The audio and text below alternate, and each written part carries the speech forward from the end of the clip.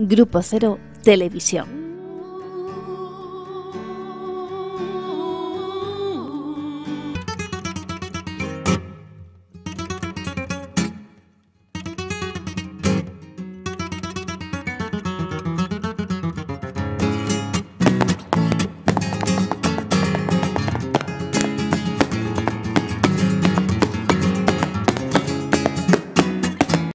Buenas noches, queridos telespectadores. Como cada jueves estamos en el programa Tu Salud Cuenta, ocupándonos de vuestra salud.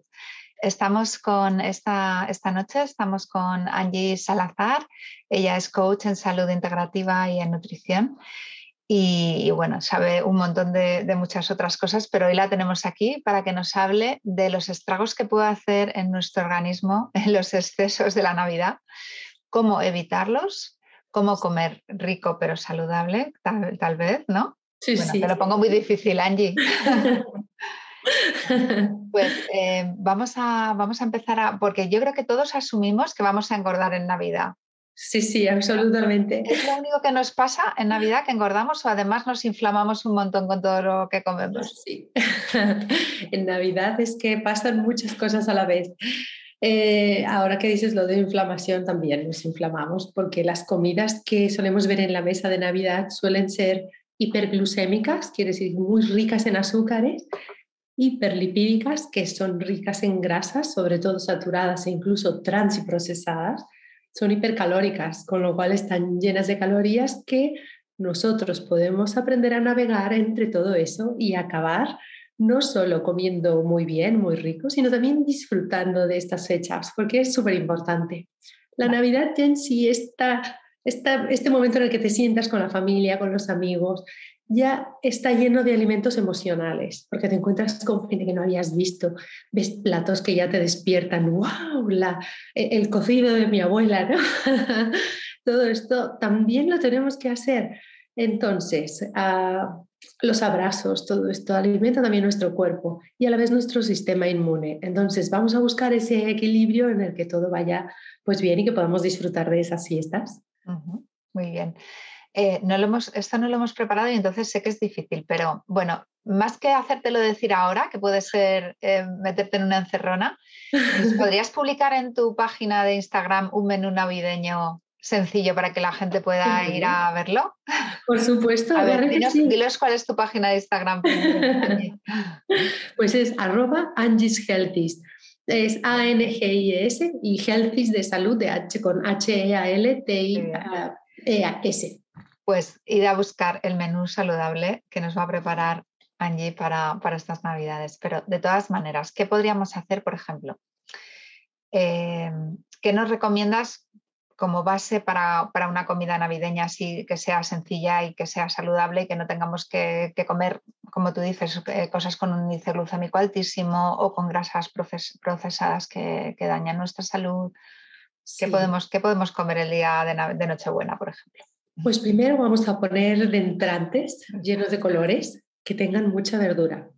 Ensaladas, ensaladas navideñas, que si nos las eh, visualizamos de colores, con rojos, con verdes, ya las podemos hacer así en forma incluso de corona, vistosas, con un buen aderezo con especias.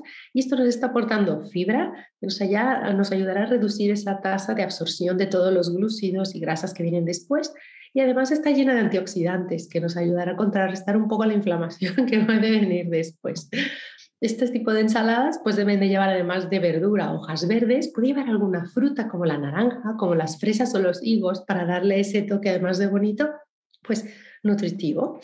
Tenemos también entrantes de tipo, por ejemplo, me gustan mucho los humus con crudités, tenemos ¿cómo se llaman estos? Em, unas tapitas que raviolis le llamo yo, de alcachofa, que puede ser rebanaditas de alcachofa, poniendo una rebanita de alcachofa por en medio queso fresco, por ejemplo, queso feta, algún queso de anacardos para quien sea vegetariano y poner la otra tapita. Entonces queda súper, súper bonito y quedan los ravioles por ahí para comer de uno en uno. El guacamole, por ejemplo, para poner con unos nachos que queda vistos como para ser pica pica. Todo esto con bastante verdura en cuanto a entrantes. Algunos platos principales, por ejemplo, se pueden mezclar Si hacemos unos canelones, pues mezclar unos canelones que lleven espinacas, queso feta, por ejemplo, y champiñones, o unos espinacas con gambitas. Esto también eh, pondremos en un plato no solo un tipo, sino al combinar ya reducimos la carga pues más, más fuerte ¿no? de lo, del plato fuerte.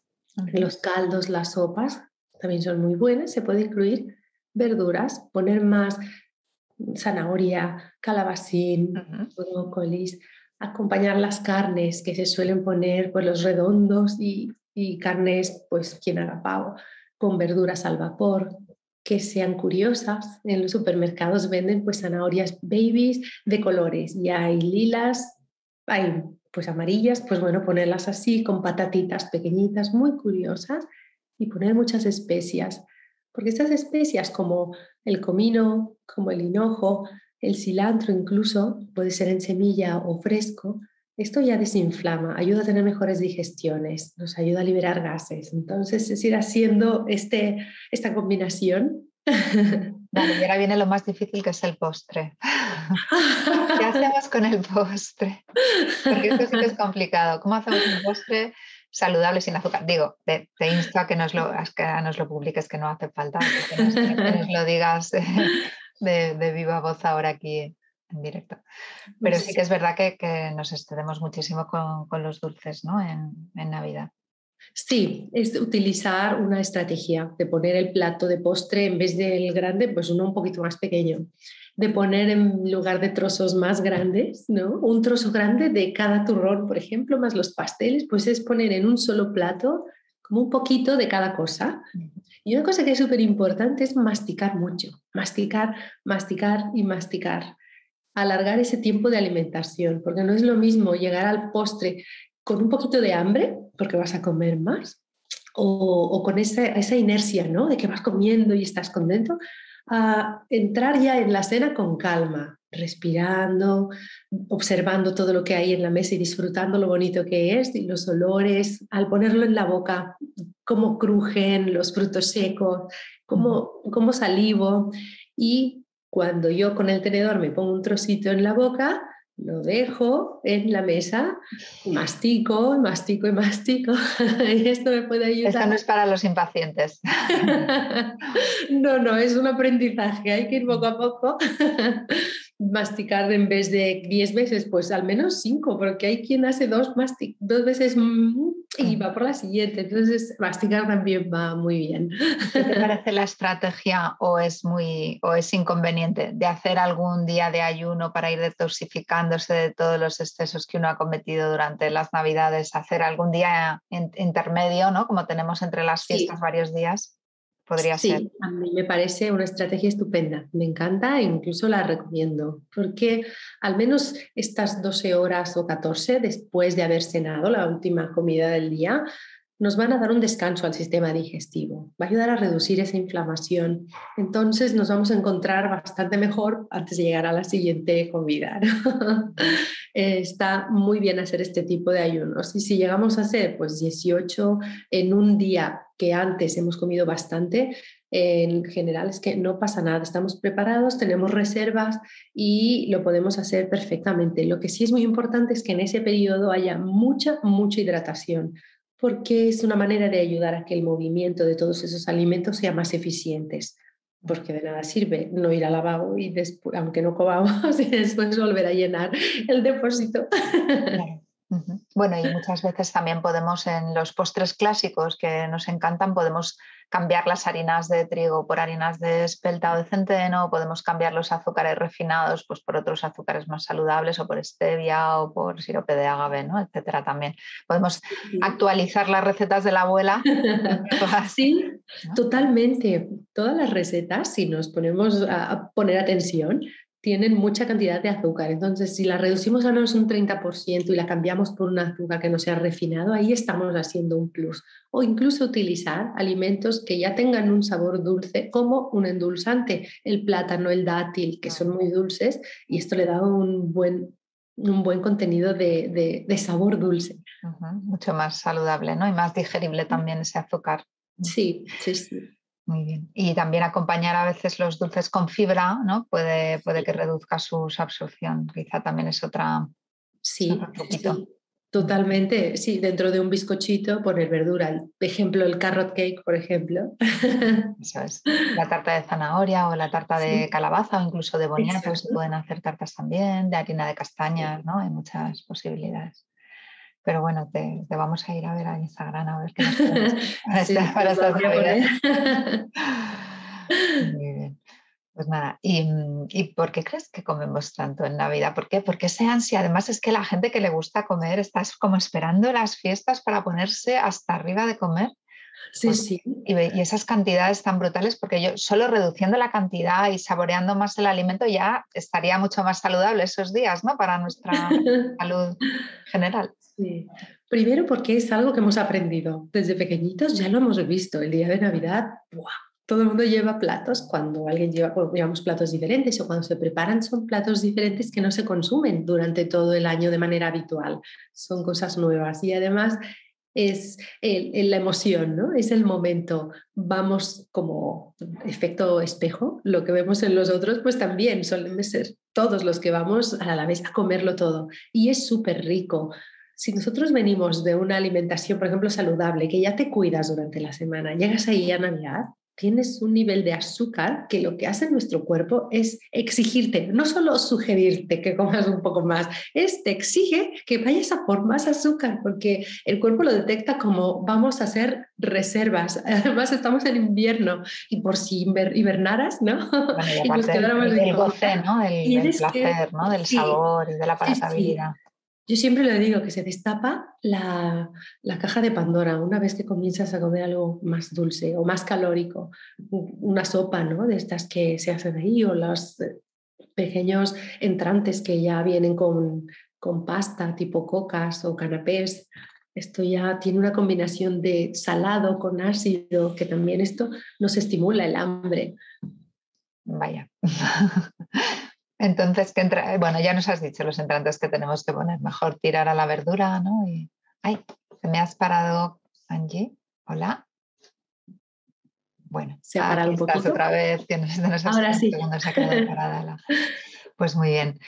Eh, pues intentaremos seguir todos los consejos que nos has dicho, comer despacio, entrantes más de verdura para también saciarnos un poquito con la fibra y no comer tanto después. Sí. E intentar cambiar en las recetas pues, los, los azúcares refinados por otro tipo de, edulcorantes más saludables, que no sean sacarina, por favor. Artificiales, ¿no? y además la sacarina es también muy tóxica, creo, para nuestras bacterias intestinales, ¿no? Sí, sí. Y también el sistema nervioso eh, nos afecta, nos afecta, sobre todo a los El aspartamo y todos estos edulcorantes artificiales son bastante neurotóxicos, así es. Sí, me he puesto también por aquí, entre mis, mis apuntes, cuidar el hígado. Esto quiere decir que este es el principal órgano que nos va a ayudar a detoxificar todos los excesos y le vamos a dar un trabajo extra estos días, con lo cual vamos a intentar intercalar una bebida alcohólica, por ejemplo, un vino y después un agua. Si nosotros somos los anfitriones, vamos a dar opciones, porque muchas veces no tomamos agua porque no hay en la mesa. Entonces, poner agua puede ser infusionada, poner ahí frutos rojos, fresas con menta para que se vea bonita y atrae. Y después otra copita de vino, intercalar. De esta manera damos también un respiro. al hígado. sí, sí. A veces eh, eh, es necesario también favorecer la digestión a nivel de nuestros ácidos del estómago. Y una manera es en las ensaladas poner el vinagre de manzana, por ejemplo, o tomar un vasito con una cucharadita de vinagre antes para estimular los jugos eh, del estómago. O bien eh, utilizar los test digestivos después, ¿no? Estas infusiones que se pueden hacer con, a mí me encanta una que lleva semillas de comino, semillas de cilantro y semillas de hinojo juntas y después da mucho confort al estómago, lo calma, lo desinflama. El agua con limón y jengibre también es otra opción que se puede poner en la mesa o ir tomando para que ese estómago vaya deshaciéndolo todo desde la entrada, sobre todo si no masticamos bien. Perfecto. Y además la opción que hemos dicho antes de ayunar, yo también estaba pensando que para la gente que no es capaz, que no se siente capaz de ayunar, hacer un día de dieta vegetariana también tiene un efecto detox, ¿verdad? entre medias, ¿no? A comer solo verdura un día. Sí, y si es cruda siempre es mejor, hace más efecto de limpieza. Aprovechamos más esos fitonutrientes que hay, que son muchas veces enzimas que están en estos alimentos crudos. Sí, sí, me gusta mucho también esta opción, Alejandra. Muy bien, vale. Para los que estamos muertos de hambre y no, no aguantamos ni dos horas en comer. Yo, era de, yo, era de, esas, pero he conseguido ayunar hasta seis días, ¿eh? o sea que se puede, se puede. Si lo, si lo he hecho yo, que a las dos de la tarde estaba muerta de hambre ya buscando algo que comer. Muy bien, Angie, pues muchísimas gracias de verdad. Porque, ¿Algún consejo más antes de cerrar? Pues, ¿Alguna pues cosa más que tuvieras ahí? Unos A ver, venga, vamos. vamos ahí, mira. Hay personas que pueden tener problemas digestivos más fuertes, hablar con el profesional de salud que puede recomendar incluso unas enzimas digestivas antes de eh, poder hacer estas cenas, sobre todo las más grandes. La hidratación que hemos comentado que es súper, súper importante. Si nos encontramos muy llenos de gases al día siguiente, el carbón activado también va muy bien en agua, disuelto en agua, una cucharadita o una capsulita, bebiéndola antes de cualquier otro alimento o medicamento, porque suele también inactivarlos, bueno, llevarse los medicamentos. Sí, y em, esto de la verdura, de todas las maneras, incluirla, por favor. Creo que nos ha quedado claro. Sí, sí, que es la que nos neutralizará muchos efectos pues, negativos de lo que pudiéramos comer que sea muy inflamatorio. Muy bien. Pues muchísimas gracias por este resumen final y seguro que pasamos unas navidades donde por lo menos intentemos mantenernos eh, menos inflamados y más, y más saludables. ¿no?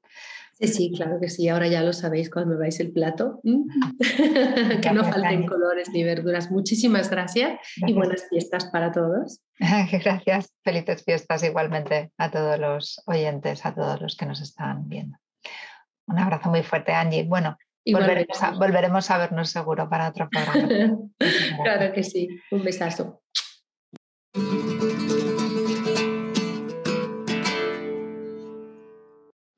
¿Sabías que para psicoanalizarse no hace falta estar enfermo? Psicoanalizarse es hablar con alguien que aunque no te diga nada, sabe lo que te está pasando. Departamento de Clínica Grupo Cero. Somos especialistas en psicoanálisis. Te atendemos en Madrid y también en nuestras consultas online. Llama al teléfono 91 758 1940.